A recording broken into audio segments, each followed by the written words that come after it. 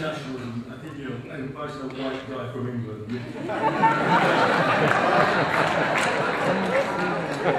no, uh, as a public service journalist, uh, I'm required not to have public political opinions. And, and, and for the right to go and interview loyally and inquisitively the opposite of this, something like a Tea Party gathering, I, I guard that jealously, so I'm obliged to say to you, don't take it personally. When I say my presence here is not, in, not designed to uh, indicate support for any left party or program in America. Okay? Um, as a Labour historian, uh, the book is a, is, is, a, is a narrative history of the global labour movement and, and with comparisons to now.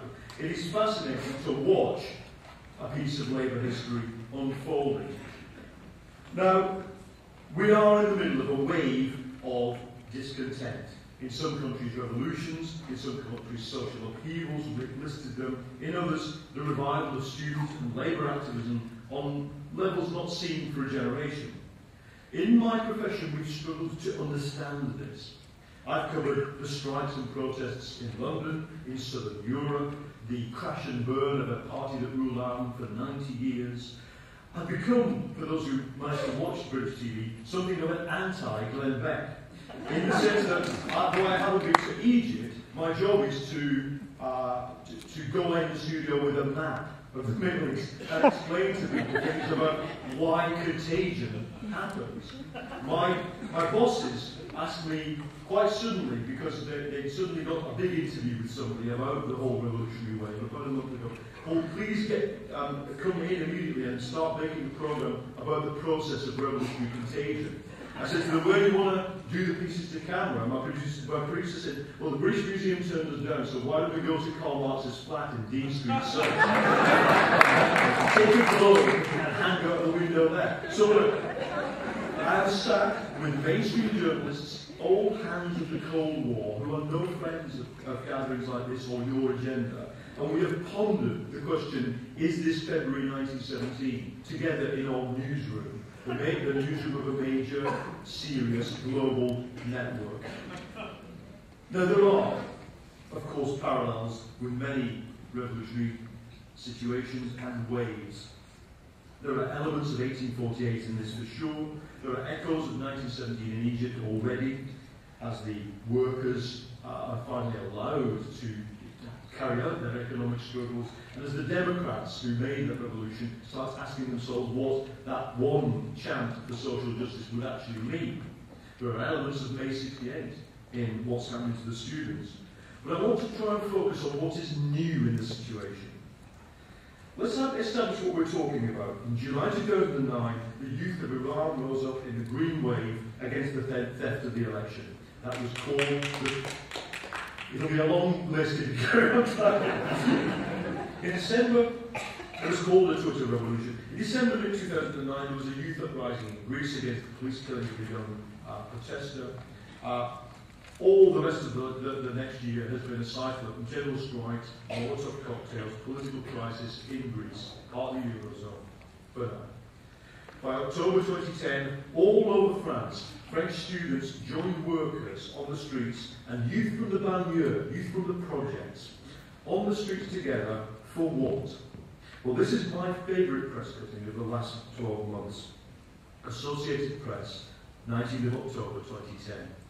Masked youths clad in black torched cars, smashed storefronts, and threw up roadblocks Tuesday, clashing with riot police across France as protests over raising the retirement age to 62 took a radical turn. then, in November, British student demos and occupations began trashing the party HQ of the Conservatives, leading to some 60 colleges, including all the big-name global universities, the Harvard and Yale equivalents and Princeton equivalents, you know, uh, Cambridge, LSE, UCL, occupied. And then Mohammed Bouazizi set himself on fire in a small town in Tunisia, and you don't need to be told the rest. You don't need to be, it doesn't need to be added. Madison. Today, there are Saudi, and Qatari tanks on the streets of Bahrain. There is an escalating military situation in over Libya. There is an escalating diplomatic situation over, among Shia in the Middle East about this the Bahraini crackdown, so a tiny country has a potentially detonating effect. Uh, there are live fire clashes on the streets of Yemen. Are in Syria, three towns today. Those of you are not on my being law on this perpetual news cycle, is it only today that Syria uh, blew up with three uh, towns uh, experiencing the shooting of protesters. Now my job is to try and explain this, and in the story I've noticed three things happening that I think are new, and I'm going to try to talk about the demographics, and the technology, and the behaviour. Okay, in demographics, Rick said, you've got youth without a future. In North Africa, you've got 20% youth unemployment, but in, country, in countries where two-thirds of the population are below the age of 30. In Europe, and for a layer in the Middle East, a crucial layer that helped start these revolutions, you have a more specific thing. That is the graduate without a future. For both sets of people, the economic crisis that began with the Lehman Brothers was not just some downturn, uh, not just a blip, as the um, economic person within the US Embassy in London at the It's turned the entire curve of their life upside down. Their curve was upwards. Do this, you get a better life. No, they could only see their lives getting worse than those of their parents. And just to add, both in North Africa and in peripheral Europe, these economic crises raise, raise crises of political legitimacy, obviously in a dictatorship, but also remember Southern Europe is taking the medicine dictated by Germany. When I reported from Athens, some of my viewers were shocked to hear me say that if you go into the mountains and small towns and regions, you will meet people who lived under German occupation. But whatever your position on World War II is and whatever your nationality, you have to understand what it is for them to lose their pensions because Germany says so. Watch what happens. Now, for those who are my age, this idea of a graduate a future or a graduate workforce that suddenly faces a deep doom scenario can be easily misunderstood. My, in my generation, students had a liberal education. We didn't pay for our education. We had a lot of time. We didn't have to work, and we got jobs. Now, students are a key part of the workforce. Their casual labour keeps the coffee bars going, the cocktail bars going. They're part of an education industry, some tens of billions of dollars worth in the world. It's a straight swap. You pay this, you get this commodity called a degree or a higher degree. They're pretty crucial to the financial system. Citigroup alone paid $200 million from its student loan in 2007.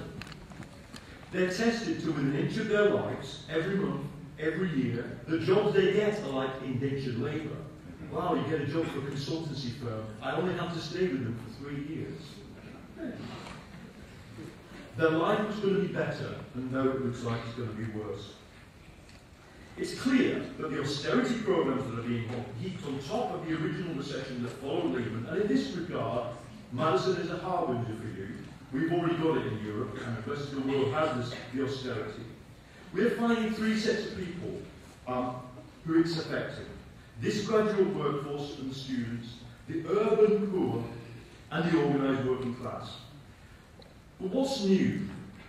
Well, 20 years of neoliberalism have taught these people, all three sets of them, to be individualistic, to have what the sociologist Richard Sennett calls weak ties to each other.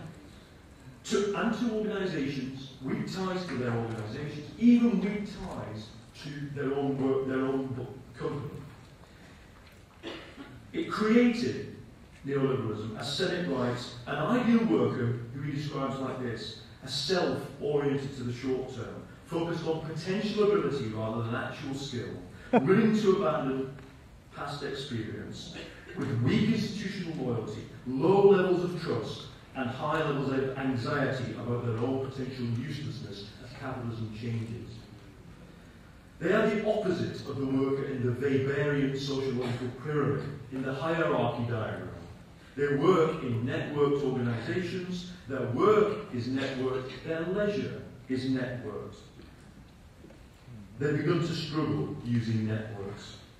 Of course, each country has its own mix. Uh, the size of the urban core, the radicalism of the student movement differs in every country.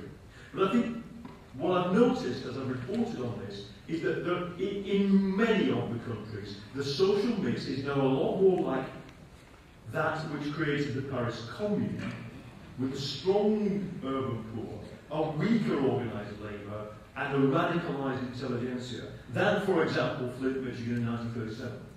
Michigan.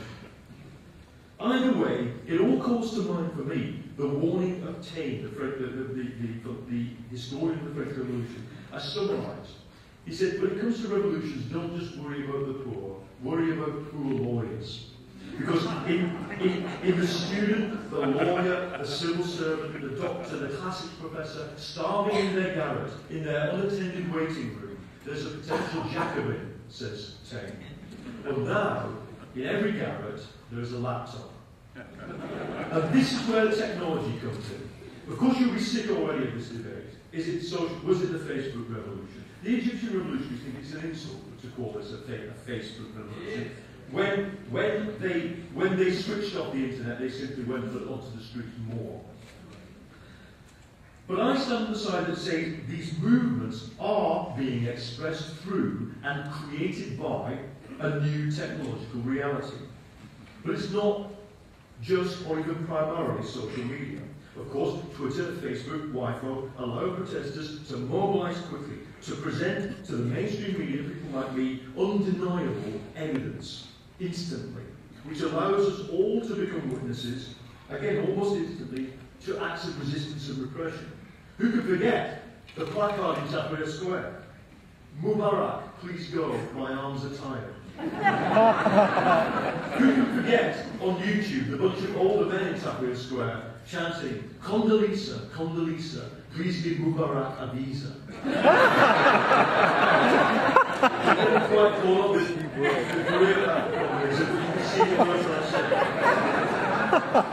it's a lot of other things. It's mobile telephony. It's mainstream media leverage. It's the sharing of cultural memes of resistance. The snatches of songs. The snatches of poetry. Poetry chanted from the rooftops of Tehran during the crisis when you can't go on the streets. It's the constant photographing on cell phones which says to soldiers and policemen, you will end up at the International Criminal Court. Uh, if your country signed the treaty which uh, recognizes in the debate that's broken out, Malcolm Gladwell famously says what's wrong with social networking is that it can only achieve small things. It can annoy, embarrass, but it couldn't have achieved what the civil rights movement achieved. And for that, you need hierarchy to confront hierarchy. I'm not hostile to that, but I think it's more complex. I think if you study in detail what the April 6th movement did, they didn't just do social networking. They had a plan, a strategy borrowed from the Gene Sharp's famous strategy guide for nonviolent revolution. They had a network, if you read the interviews, of cells, quite similar to way guerrilla movements organized. 50 people with one leader, one leader knows the other leaders, but nobody else does. What they've learned, though, from the 20th century was to try, in the beginning, to inure themselves to the hierarchical dangers of nationalism, of Stalinism, of Islamism because they, because they, because they had read more than the generation I came from. They, they, in a way, as Foucault once said to Gilles Deleuze, you know, we took a hundred years to understand class. We took to the 19th century to understand class, but it's taken us another hundred years to understand power. If you go to a British student occupation, the books on the floor Foucault, Deleuze, obviously Hardt, Negri, Chomsky. Those books weren't, those ideas were not formulated in the student occupations of my early 20s. In addition, what they learned practically from the anarchist and eco-warrior tradition was the idea of creating spaces, and that space is a conquest. The, the Tahrir Square organisers had learned this, that many of them had had experience of the Western students and eco-movement. And here, I think they've begun to do what the syndicalists did from Lawrence, Massachusetts to Buenos Aires to Welsh coal mines. They, they, they started to recognise that between reform and revolution, there is another space for the expanded control over your own life, over place, over culture, over personal relationships. The British students become, became so addicted to occupying that even after the law was passed, they carried on occupying. One said, um, you know, after the, that vote was taken, great, my house is crap anyway. I'd rather live in an occupation than in a student hovel. But above all, they, they use these methods that drive union organisers and left group organisers mad. The lack of commitment, the constant febrility of what they do. I think another, another product of the new technological reality is that propaganda is beginning to become highly flammable, highly hard to make stick. Yes, you get spin doctors on Twitter. Yes, you get outright disinformation. But the truth acts like white blood cells, and it, it, it is more effective in a social media than in a mainstream media. Mainstream media is good at creating bubbles where people can believe a partial version of the truth. Social media is good at popping the bubble. That's all I claim for it. But I think you have to see it, and when you see it used, it is, a, it is an interesting part of the new reality. Finally, I think the technology is making the protests, and that, as it were, the vibe, which you described, is making the protests for the first time in 20 years seem more modern than the methods of those who oppose them. Whereas the old methods, the pure strike, the pure student demo, the pure intellectual thing, the pure riot by the, the oppressed, always were able to be pigeonholed. Finally, I'm going to talk about, just for one minute, behaviour.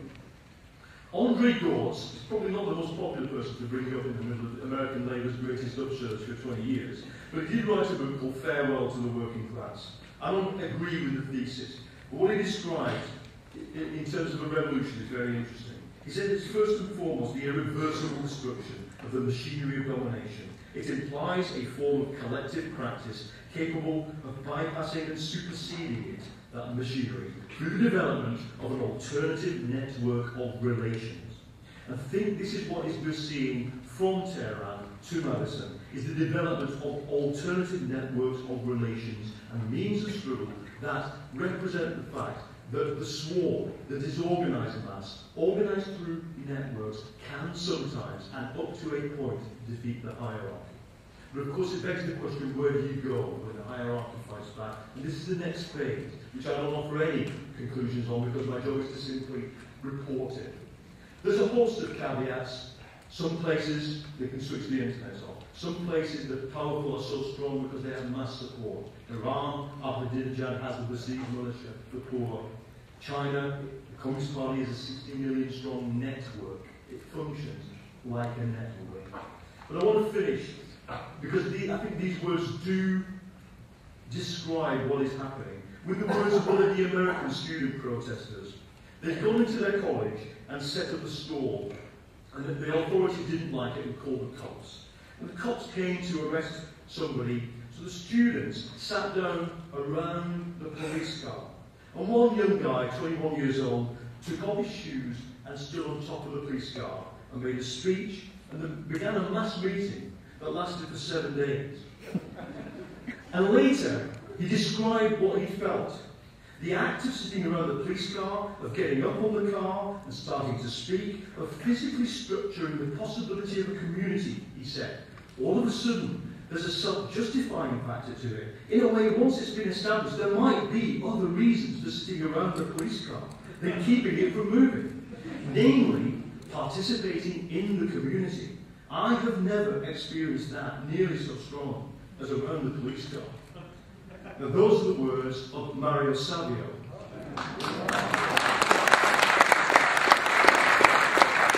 And the act I'm describing was in Berkeley in 1964. And you may have thought, and my colleagues in my profession may have thought, that such sentiments, such idealism, such ability to create the Sun community out of the empty space of isolated individuals, to achieve change through non-violence and through eloquence, you may have thought that the days of all that were gone. Well, they're back.